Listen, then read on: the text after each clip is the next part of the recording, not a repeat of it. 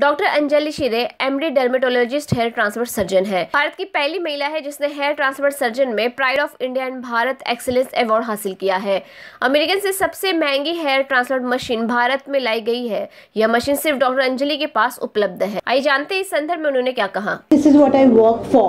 I started hair transplant because I was passionate about it. Otherwise, I'm a dermatologist. I belong to a family my doctors. Parents my parents, my grandparents, my sisters, everybody is a doctor. I took dermatology in the way I realized that okay, I could do um, something in hair transplant which I was interested. Then I went to America. फिर मैं America जाके इसकी specialisation करके आई तब जब मैं वापस India I तो मैंने देखा कि इंडिया में तो हेयर ट्रांसप्लांट का इतना है ही नहीं कुछ तो 2004 में मैंने बैंड्रा में स्टार्ट किया hair transplant exclusive hair transplant clinic तब क्योंकि मैं उसमें मुझे बहुत पैशन था कि मैं हेयर लोगों के हेयर लगा के दूँ। तब मैंने ऐसे सोचा था कि सिर्फ़ फ़िल्म एक्टर्स आएँगे या सेलिब्रिटी आएँगे।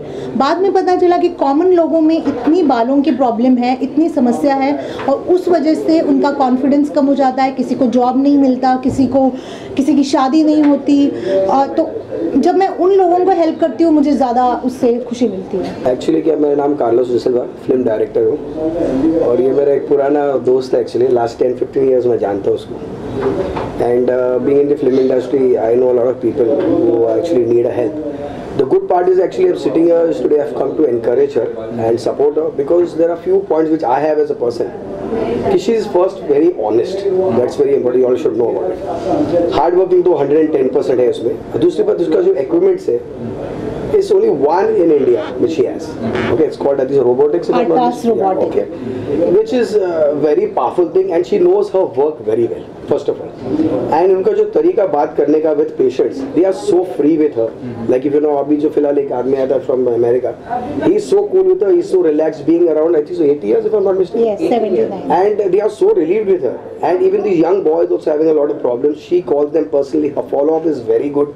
So I set to my set to मेरे से जितना काम है सब खत्म करके मैं इधर आऊँगा।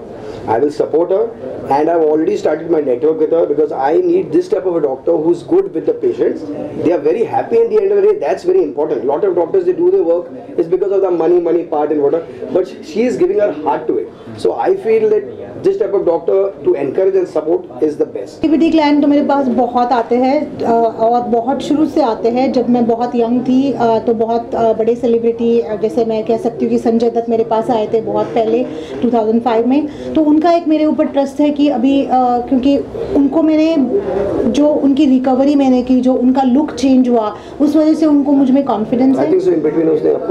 यस अभी मिला अभी थोड़ी very thankful and celebrities because उनका लुक इज़ बहुत मायने रखता है।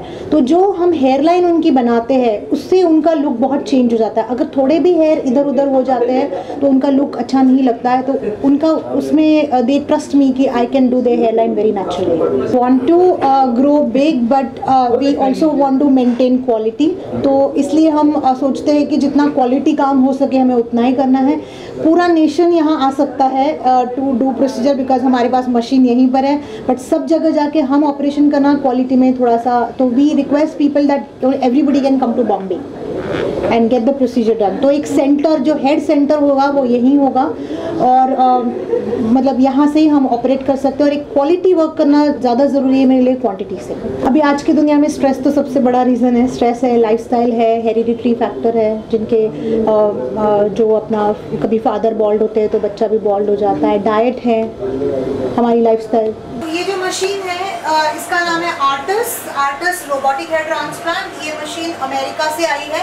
ये this is the only machine which is U S F D approve robotic machine और कोई भी machine U S F D approve नहीं है और इन्होंने इंडिया में सिर्फ़ मेरे साथ पार्टनरशिप की है डॉक्टर अंजलि शेरे के साथ।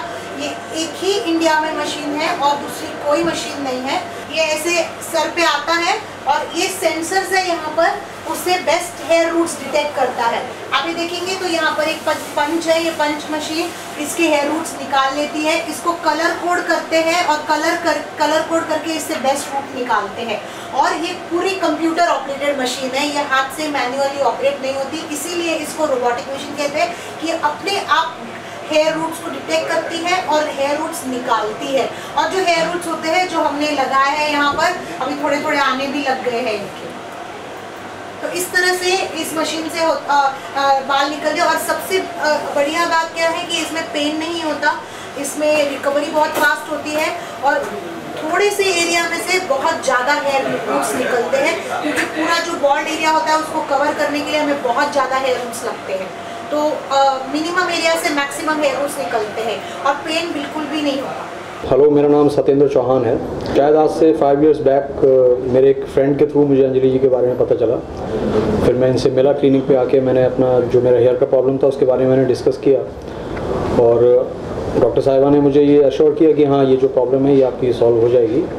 और हम एक छोटा सा ऑपरेशन करेंगे। एक मिनट सा ऑपरेशन करेंगे। उसके बाद ये मतलब जो भी प्रॉब्लम है हेयर ग्रोथ है, वो नेचुरल हेयर ग्रोथ हो जाएगी। वन डे प्रोसेस था मेरे ख्याल से around two two three four hours का। बहुत ही मैं पहले थोड़ा सा घबराया हुआ था। एक्चुअली मैं सोच रहा था कि कुछ ऑपरेशन जैसा होगा, लेकिन ऑपरेशन जैसा तो कुछ नहीं था। एक बहुत माइन्यूट सा ऑपरेशन था। जिसका मुझे बहुत ज़्यादा पता भी नहीं चला एक्चुअली और टू थ्री आवर्स में आई थिंक ये हो गया था। जो आप मेरे बाल इस वक्त देख रहे हैं, ये इसके मतलब 50 परसेंट भी नहीं थे, आप समझ लीजिए। लेकिन उसके बाद जब ट्रीटमेंट हुआ, फिर डॉक्टर साहब ने कुछ, मुझे कुछ दवाइयाँ रेकमेंड की, वो मैंने यूज़ की लगातार।